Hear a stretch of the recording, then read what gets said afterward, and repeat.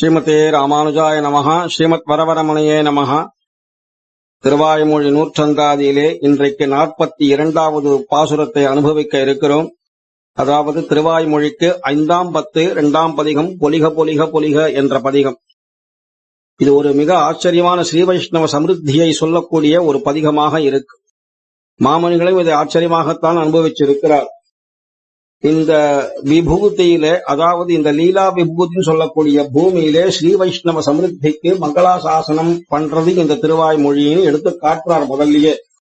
இந்த மங்களாசாசனத்துக்கு பிரசக்தி அதாவது இது எதோட சேர்ந்தது எப்படி இதை சொல்றார் என்ன எதை கொ- காரணமாக கொண்டு இப்ப மங்களாசாசனம் பண்றார் அப்படின்னாக்கா கீழே நாலாம் பத்துல நன்னாதார் முருவலிப்ப நல்லுற்றார் கரைந்தேங்க அப்படின்ற அந்த பதிகத்துல ஆழ்வார் சம்சாரிகளுடைய கிளேசங்கள் கஷ்டங்கள் துக்கங்கள் எல்லாத்தையும் பார்த்துட்டு அத ஒரு அனுசந்தானம் பண்ணி அச்சோ இப்படி இருக்கிறார்களே அதுக்கு பரிகாரமாக ஒன்றும் தேவத்துல பரத்வத்தை அர்ச்சாவதாரத்திலே பரத்வத்தை தெரிவித்து எம்பெருமானுடைய பரத்வமாக பறக்க பேசியிருந்த அந்த அதனால எல்லாரும் அதை கேட்டு கேட்டு திருந்தி சம்சாரிகளுடைய பரமபதம் இது வந்து இந்த இந்த லீலா விபூதி என்ற வேற்றுமையே இல்லாதபடி அங்குள்ளாரும் இங்கே வந்து பார்க்கலாம் வழியான சமிருத்தியை கண்டு மங்களாசாசனம் பண்ணுகிறார் இந்த ஜனங்களுக்கு அப்படின்னு தெரியுது ஆழ்வாருடைய ஸ்ரீ வைஷ்ணவ ஸ்ரீயை பார்ப்பதற்காக நித்திய சூரிகள்லாம் அங்கே மேல வந்துட்டாலாம் அந்த நித்திய சூரிகளுக்கு மங்களாசாசனம் பண்ணுகிறார் அப்படிங்கிறது ஒரு நிர்வாகம்.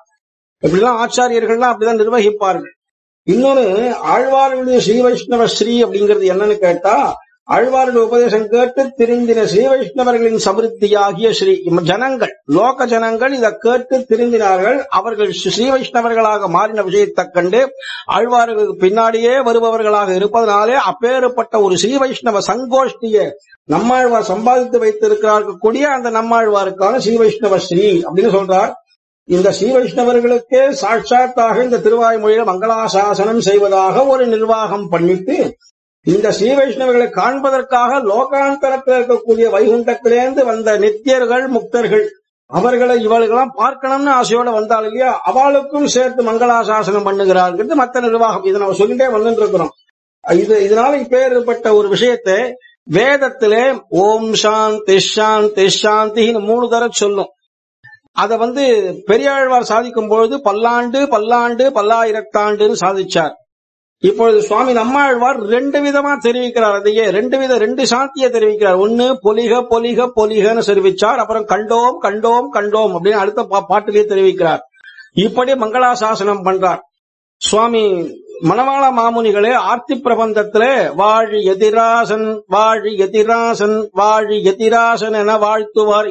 எம்பெருமானார் அனுபவிக்கக்கூடிய எல்லாருக்குமே சாந்தி உண்டுன்னு வாழியன வாழ்த்துவார் வாழியன வாழ்த்துவார். யாருக்கெல்லாம் அவர் வாழ்த்துவார் அவர்களுக்கெல்லாம் அவர் அவருடைய திருவடியில நான் போய் விழ விண்ணோர் தலை அப்படின்னு சொல்லும்படியாக சாட்சாத் நித்திய சூரிகளே வந்து விழும்போது நமக்கு என்ன அப்படின்ற ஒரு வாழ்ச்சியை காட்டினார் மணவாள மாமுனிகள் ஆர்த்தி பிரபந்தத்திலே. அதுபோல இந்த இடத்துல வந்து ஆரம்பமே பொலிக பொலிக பொலிக போயிற்று வல்லுயிர் சாபம். நலியும் நரகமும் நெய்ந்த நமனுக்கு இங்கு யாதொன்றுமில்லை. கலியும் கெடும் கண்டுகொண்மென் கடல் வண்ணன் பூதங்கள் மண்மேல். மலிய புகுந்த இசைபாடி ஆடி உழிதரக் கண்டோம். ஆடி ஆடி உழிதரக் கண்டோங்கிற அர்த்தத்துல ஒரு ஆடிதான் சொல்றாரு இங்க. ஆடி ஆடி அகங்கரைந்துன்னு ஏற்கனவே தெரிவிச்சார் இல்லையா? அது போல இந்த இடத்துல ஆடி உழிதரக் கொண்டோம்னா அந்த சமிருத்திய வைஷ்ணவ சமிருத்தியை பார்த்துட்டு இவாளுக்கெல்லாம் பொலிக பொலிக அதாவது என்ன சொல்றாருன்னா சாந்தி சாந்தி சாந்தி வேதம் சொல்ற பிரகாரம் வாழ்க வாழ்க வாழ்கன்னு ரொம்ப அழகா தெரிவிக்கிறார். மூன்று விதமான சாந்தி எதுக்குன்னு கேட்டா அடுத்தது கண்டோம் கண்டோம் பாசுரத்தை தெரிவிக்கிற அர்த்தம் என்னன்னு கேட்டா நம்முடைய சம்பிரதாயமே ஆழ்வார் எம்பெருமானார் ஜியர். அதைத்தான் பார்த்திருக்கிறோம்.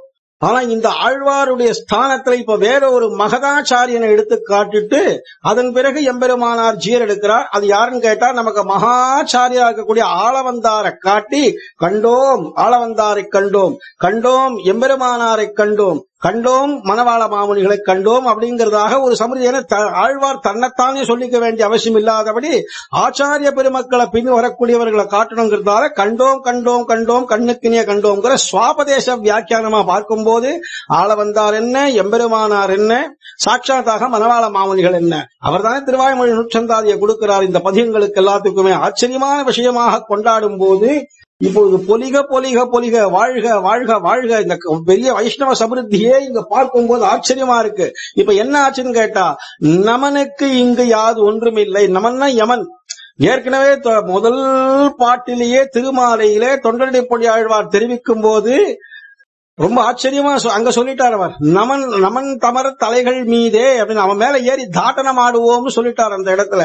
இப்போ இந்த இடத்துல நமனுக்கு இங்கு யாது ஒன்றும் இல்லை அப்படின்னு சொல்லுவாரானால் யமனுக்கு இங்க என்ன வேலை இருக்கு? இவன் யாரை கொண்டு போக போறான்? அவன் ஏற்கனவே நமன் என்ன சொல்லியிருக்கிறான்? யமன் தன்னுடைய கோஷ்டிதா இருக்கக்கூடிய யாரெல்லாம் புராணன் அபகரிச்சுட்டு வருவார்களோ அவர்களிடத்துல காதோட நமனும் தன் தூதுவரை கூவி செவிக்குன்னு பரிகர மதுசூதன பிரபன்னான் பிரபுரகம் அந்நியனாம் ந வைஷ்ணவானாம்னு சொல்லிட்டான். நான் மற்றவர்களுக்கு தான் பிரபு வைஷ்ணவர்களுக்கு இல்ல. அதனால பரிகர மதுசூதன பிரபன்னான் அப்படிங்கறதுனால மதுசூதன பிரபன்னர்கள்னு யார் இருக்காளோ அவளை விட்டுடு அவ கிட்டயே போகாதன்னு காதோட சொன்னதாக தெரிகிறது இல்லையா?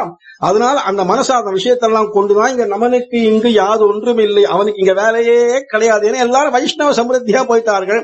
வைஷ்ணவ பார்ஷதர்கள் வேணா வைகுண்டத்துக்கு அழைச்சிட்டு போகலாமே தவிர நமனுக்கு இங்க என்ன வேலைன்னு கேட்கிறார் அதனால கலியும் கெடும் கண்டு கொண்பின் கடல் வண்ணன் பூதங்கள் மண்மேல் கலின்றதே கெட்டது. கெட்டது கெடும்னா நல்லது நடக்கும். என்னது? எம்பெருமானாருடைய அவதாரத்தை பாரித்து பேசுகிறார் அப்படின்றாரு இங்க சுவாபதேச வியாக்கியானத்துல. அப்ப கலியும் கெடும்னா கெட்டது கெடுங்கிறது எம்பெருமானாருடைய அவதாரத்தால தான் தன்னால கூட நடக்கலைங்கிறதுனால தான் சி இவ என்ன உலக இயற்கைன்னு பேசிட்டு போயிட்டார்.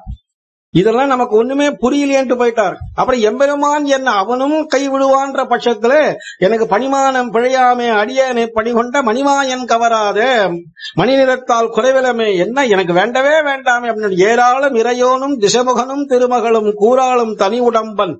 குலம் குலமா வசுரர்களை நீராகும் படியாக நிர்மித்த படைதொட்ட மாறாளன் கவராத மணிமாமை குறவிலமேன் அவனுக்கு பிடிக்காத ஆத்ம ஆத்மீய வஸ்திரங்கள் எல்லாத்தையும் தூக்கி போட்டுடுறேன் அவன் வஸ்திரங்கள் எது கொடுத்தாலும் எனக்கு வேண்டாம் அப்படிங்கிறாப்புல அப்படி ஒரு விரக்தி வந்துடுத்து நம்மாழ்வாருக்கு. அந்த பதிகத்துல அதெல்லாம் போகும்படியாக அந்த சமிருத்தியை இப்ப பார்த்துட்டாரு. உபதேசம் பண்ணினார் வைஷ்ணவ சமிருத்தி வந்துடுத்து.